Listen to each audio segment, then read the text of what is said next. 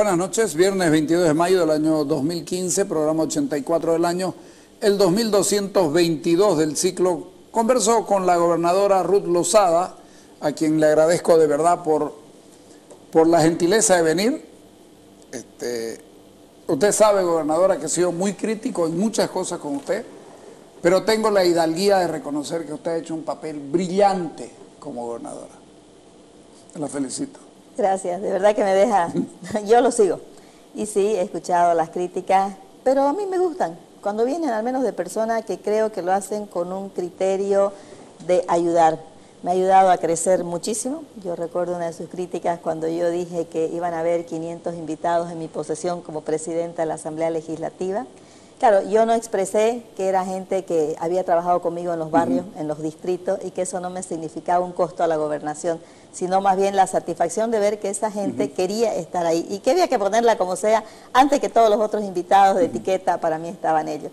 Entonces yo reflexioné y dije, bueno, debía aprender a expresarme mejor.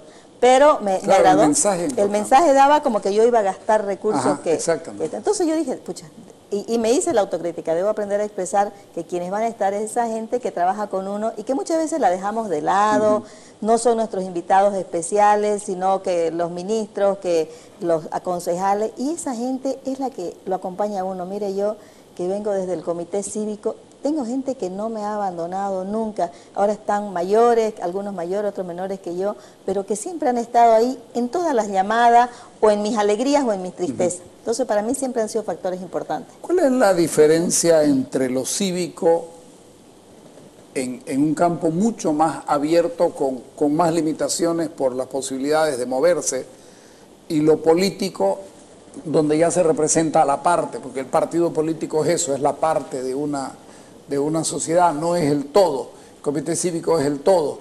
¿Cuáles son las diferencias reales de una cosa y la otra?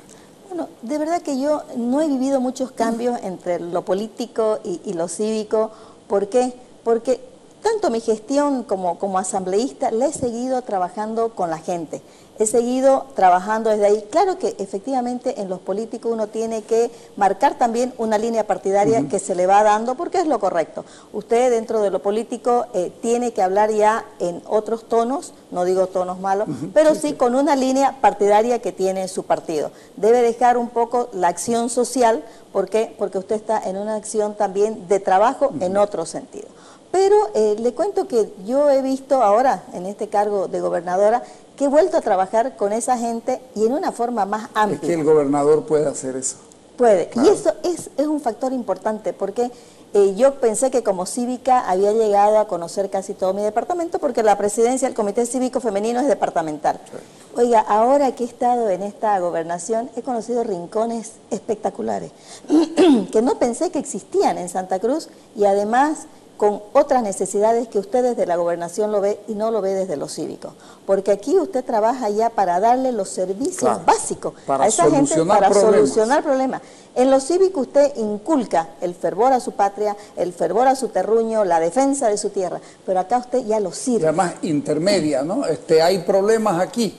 Acá en el otro lado dice, yo tengo que solucionar. Así es. Entonces ya usted aquí soluciona esos problemas a lo que usted va y le dice, vamos a buscar cómo podemos hacer y habla a la autoridad. En cambio aquí usted es la autoridad y usted busca cómo solucionársela y es una satisfacción aparte, le cuento. O sea, eh, para mí ha sido una, una super experiencia. ¿Cuántos años en lo cívico?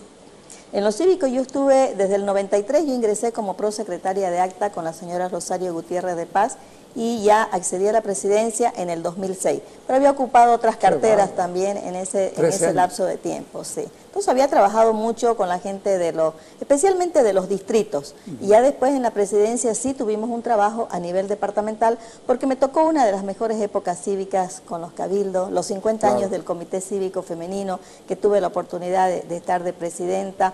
Entonces fueron claro, hermosas. En ese sitio se han sentado señoras excepcionales.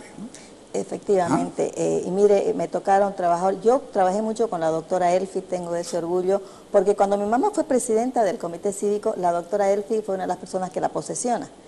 Y yo ya era presidenta juvenil de la Mesa Redonda Panamericana y la doctora Elfi era de la Madre Panamericana. Entonces tuve el gusto de trabajar con ella y ya cuando tenemos los 50 años, Carlitos Glogau, su hijo de la señora Elfi, me dice, usted es la segunda Elfi Albert en este comité, me dice, porque ha llegado a muchísimos lugares que de verdad no pensamos, porque en una época el comité, me dice, se abocó a la parte social. Y el comité no tiene que ser parte social, es la defensa efectivamente de la mujer y la familia, pero tiene que hacer un trabajo político aunque no es partidario. Claro, por supuesto. Y más o menos me tocó una época de hacer ese trabajo político no partidario, porque también fuimos parte importante en la recolección de firmas para el referéndum del 2008, porque yo termino mi gestión justo en marzo del 2008 y el referéndum se llevó en mayo del 2008, pero ya habíamos recolectado la firma y me tocó con grandes presidentes, tengo que reconocerlo, me tocó con Rubén vicepresidente, Rubén presidente, me tocó con Germán Antelo, que tuvo una buena actuación dentro de lo que fue el Comité Cívico. Sin duda. Y mi última gestión me tocó con Branco ya en la última parte de las luchas. Entonces tuve grandes presidentes, tengo que reconocerlo, y me dieron un buen espacio de actuación para como mujer poder desempeñar ese trabajo que muchos decían, las mujeres del comité cívico solamente hacen cafecito o sirven para hacer los sándwiches. Sí, eso era terriblemente ofensivo. Era, era ofensivo y ahí nos tocó a nosotros y yo recuerdo muy bien eh, cuando hicimos la huelga por los dos tercios que las iniciamos nosotros, que todo el mundo mantuvo ahí una expectativa importante. Yo tengo guardadas mis poleras de los dos tercios. claro, todo el mundo salíamos con los dos tercios y terminamos después con una llamada de las mujeres a la plaza y ahí ya es donde se lee que va a haber el cabildo del millón. Entonces ahí las mujeres tuvimos una actuación que cambiamos la forma de pensar de lo que se, tenía más o menos centrado en lo que era el comité cívico. Pese a que grandes mujeres como la señora Anita Suárez de Leigue, cuando fue presidenta comenzó a recaudar ese peso, peso para construir la carretera, Cotoca, y se ha hecho un monumento justamente para ella en el ingreso. Y, hemos tenido otras mujeres que han hecho, por ejemplo, eh, quizás en la parte social, pero han construido un hogar de niños Santa Cruz, que es un referente del Comité Cívico Femenino, un hogar de la esperanza, que es donde se sacan a los niños de la cárcel. Entonces también se habían hecho diferentes trabajos porque han habido momentos en la historia de Santa Cruz donde hemos tenido una calma y que de repente no había por qué una actuación eh, política y bueno, llegó ya la época nosotros donde se hace ese cambio para ir a la parte de los cabildos y nos tocó una actuación importante. Hablando de cabildos, ¿qué siente cuando el juez a nombre de su tribunal dice se declara este, inocente sin culpa y sin cargo y se los absuelve de cualquier situación hace cuatro días? Mire, estábamos ahí justamente atrás de, Rubén, con la esposa de Rubén, con Chonina. Fue, fue una emoción eh, gigantesca porque de verdad nos tocó acompañar como asambleísta departamental todo el proceso porque tenía colegas que eran asambleístas y que eran ex consejeros y habíamos estado acompañando este proceso de estar ahí sentados. Eh, una vez en la parte de la fiscalía estaba el fiscal Molinedo, un fiscal muy duro, eh, yo lo hallaba prepotente, un día me quiso sacar de la, de la sala porque yo no era acusada, yo iba a acompañar a mis colegas para... Siempre, siempre uno se, tiene, se siente acompañado. Y él eh, se molestó con los asambleístas porque dijo que eh, no hacíamos nada. Entonces yo lo miré así y él dijo, quiero que retiren a ese asambleísta. O sea, se molestó por, por una mirada. Y mire cómo es la vida, bueno, él ahora está en otro lugar y debe necesitar mucho apoyo y le gustaría que también lo acompañen cuando él va a, sus audiencias. Pero la emoción cuando dijeron que los liberaban de culpa a Rubén, a los tres exsecretarios, más a los ex consejeros, fue, no tiene, ¿qué le puedo decir?, forma de expresarse. ¿Cómo se justificó, no, eh, que todo lo que se había hecho estaba bien hecho? Exactamente, y mire, eh, todos los que estaban ahí, los ex consejeros también tenían sus bienes embargados. Había una colega, eh, ex colega, que justamente se había divorciado, se había vuelto a casar y se había vuelto a divorciar y dice, no puedo hacer mi partición de bienes porque está embargado.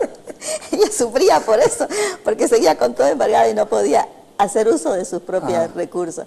Entonces Rubén estaba con arraigo, así que eh, la, la, emoción fue grande, que hasta los varones lloraron. Juan Carlos Parada, que es nuestro subgobernador en Portachuelo, en la provincia de Sara, se puso a llorar de emoción de, de tanto Yo creo que son emociones, pues, ¿no? Son, emociones muy grandes. Y me comentaba, hoy día en la tarde tengo con Rolly Aguilera que ir a inspeccionar la Villa Olímpica para ver donde vamos a recibir a la gente que viene a ver al Papa y me dice, eh, gobernadora, no lo haga en la mañana, porque esta noche me siento tan libre que voy a festejar el que ya no estoy enjuiciado. Claro, aunque uno piensa que es sencillo, es una presión que uno va teniendo. Yo la tengo con el caso del que tengo juicio y uno la va teniendo esa presión. Imagínense cuando le dicen, yo le digo, Rolly debe ser como un parto, y le dije a Rubén, cuando uno tiene su hijo siente una liberación y tiene el fruto que es el hijo.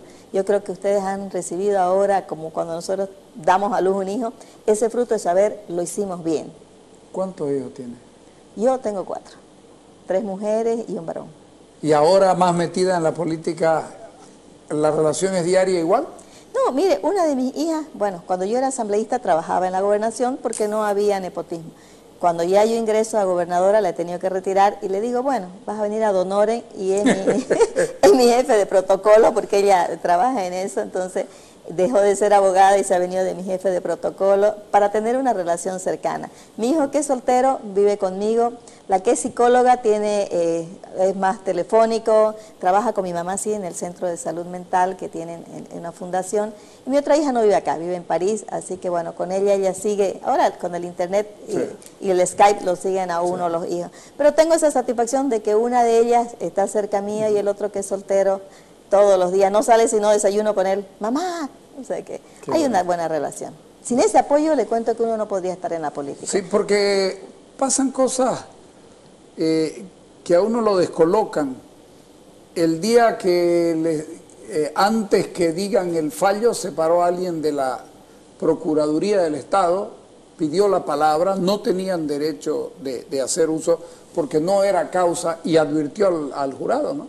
No, fue el mismo día. El mismo día, ese día. Ese mismo día eh, ya el juez primero preguntó, le dice a la Contraloría, eh, no está acá la representante legal.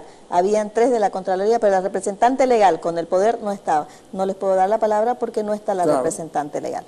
Pasamos entonces, eh, alguien de los acusados quiere hablar y quedamos que hable Rubén por todos los acusados. Rubén habla un discurso muy probo, donde da a entender por qué se había hecho por última vez para descartar cualquier eh, pensamiento que no fuera por el mandato del pueblo. El juez dice, bueno, eh, con esto vamos a dar por cerrado y pide la palabra esta señora y le dice, ya le di la palabra y no está acá la representante de la Contraloría. Disculpe, señor presidente, yo soy de la Procuraduría, vengo de La Paz. Entonces la mira, bueno, educado el presidente le dice sí. Y alguien de atrás dice, denle un micrófono. No, así está bien, dice. Y ahí ella dice, eh, noto acá una parcialidad hay que atenerse a las consecuencias y este caso debe irse a la ciudad de La Paz porque hay daño al Estado. Y que quede claro, hay daño al Estado.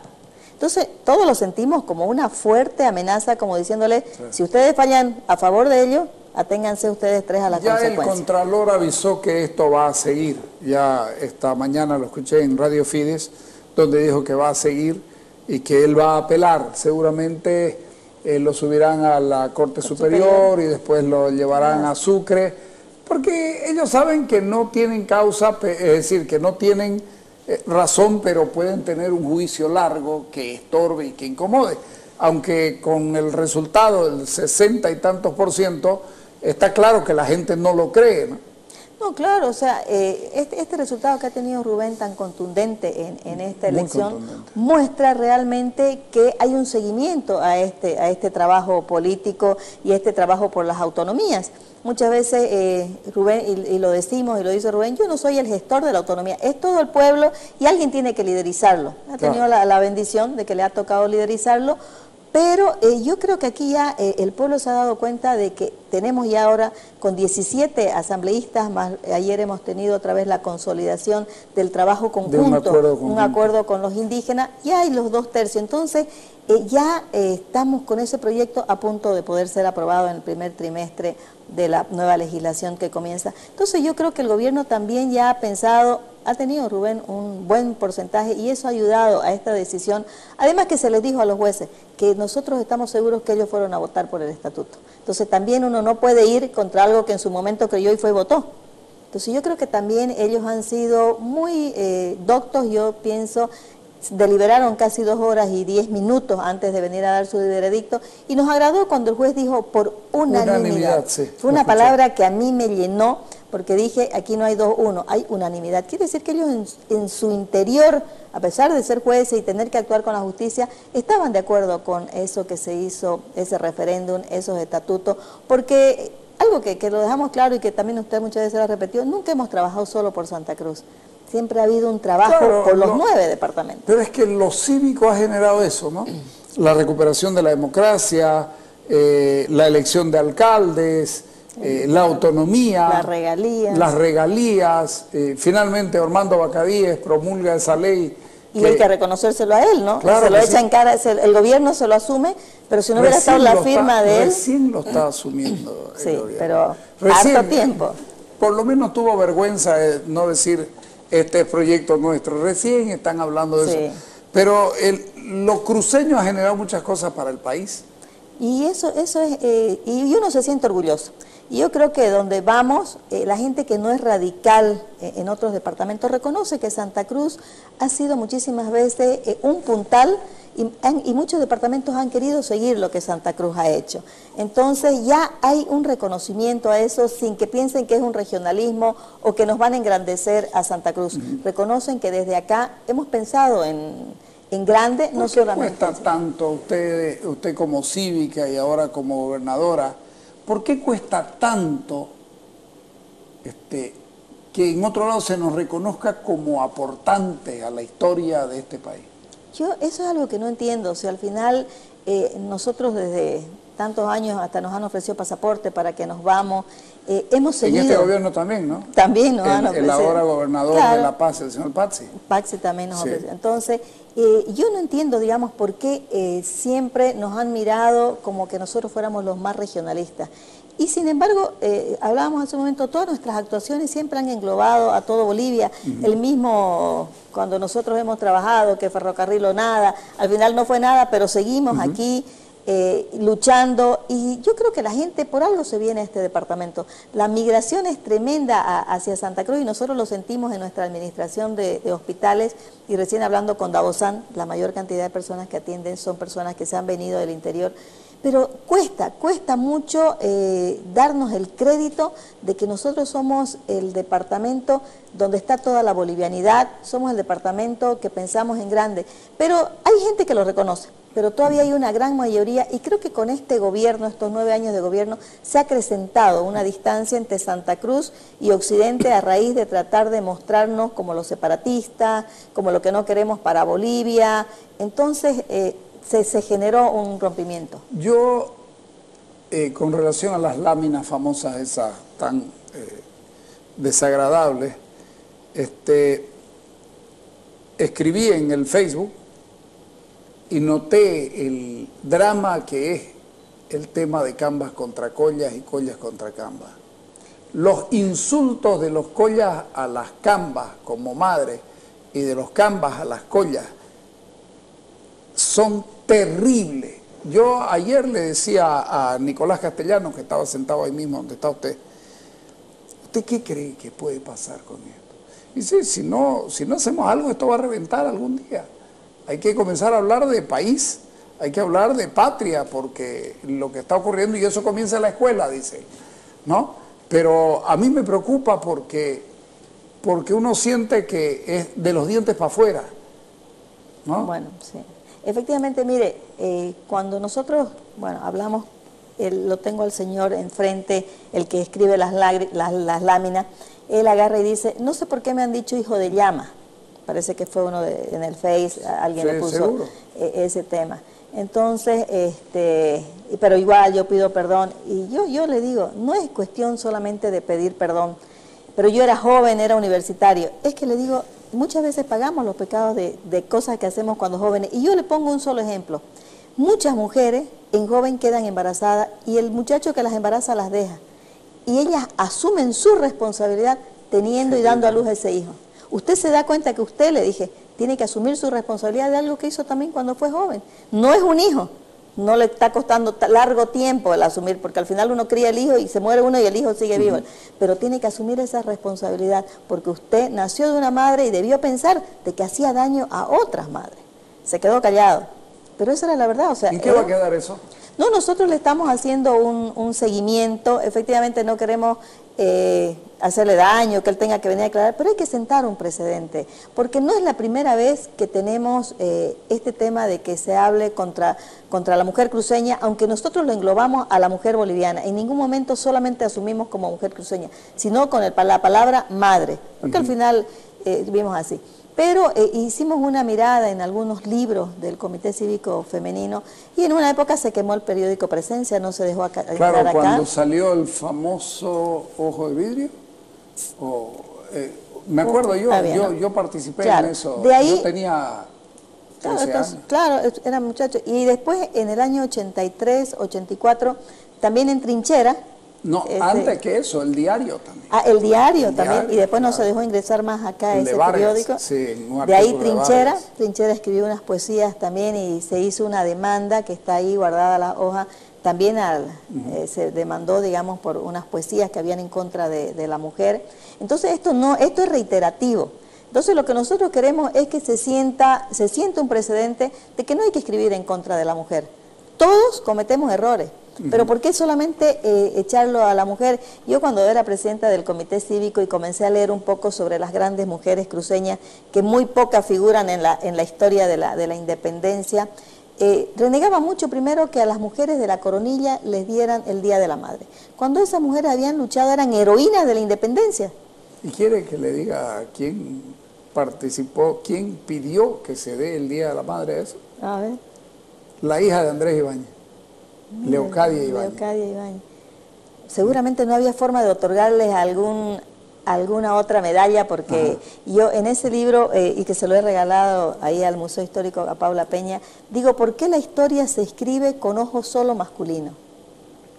Ah, ese es otro problema que, que hay que resolver, no desde la militancia desde mi punto de vista feminista, no, no feminista. sino desde, la integralidad del ser humano. Exactamente, ¿por qué?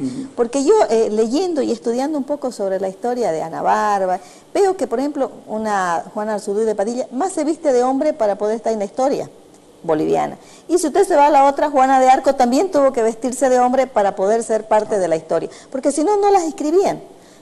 Y hemos tenido, habían unas mujeres enfermeras, por ejemplo, que ayudaron mucho en la guerra del Chaco, ellas eran de Roboré, y su actuación en la guerra del Chaco, llegaron, a pesar de ser enfermeras, a estar en el frente.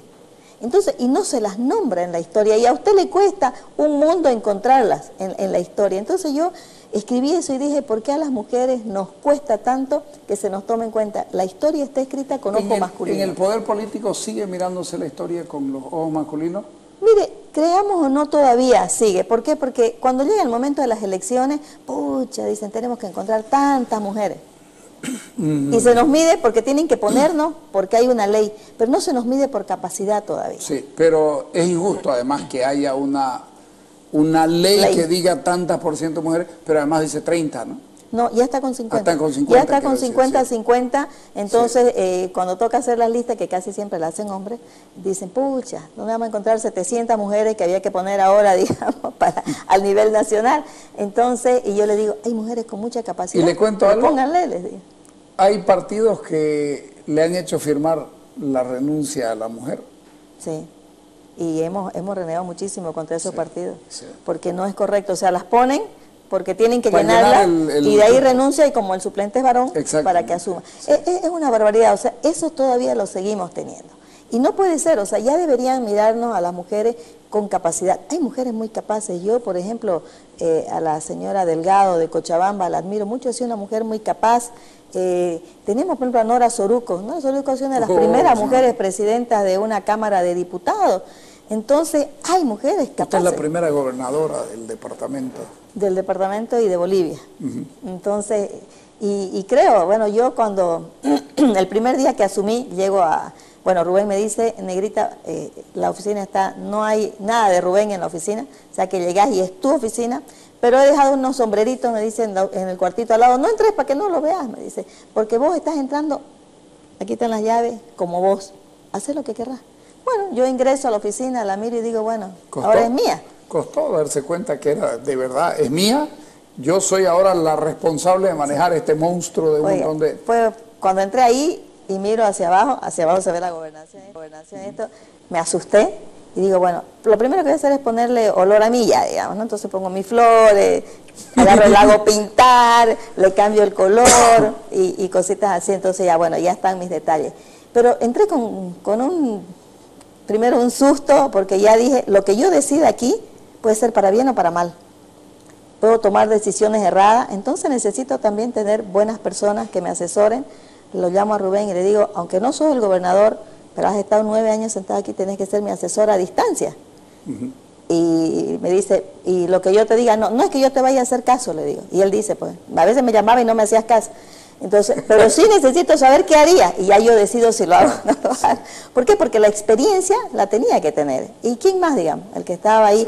Además que cuando yo, eh, yo ingreso... Además era el único gobernador. y, cuando yo ingreso, además ya eh, en la asamblea, cuando yo era presidenta, ya habíamos aprobado el presupuesto para lo que yo tenía que ejecutar. Ya venía yo con un presupuesto preparado, eh, porque se aprueba en septiembre, el 5 de septiembre se había aprobado, entonces las secretarías ya tenían un proyecto de trabajo, no era que yo tenía que inventar la pólvora, pero sí algo que, que me llamó mucho, al otro día que yo ingreso, que tomo posesión, sale en el periódico El Deber una caricatura, estoy yo ya con mi bastón de mando, mi banda, y la carita de Rubén, mm. ahí donde dice, cuídame que ya vuelvo, cuídame la silla. Y yo dije, bueno, esto tiene dos sentidos. Uno, o es que solo la voy a calentar la silla, o dos que me están retando como mujer a que haga un buen trabajo. Voy a tomar por los segundos.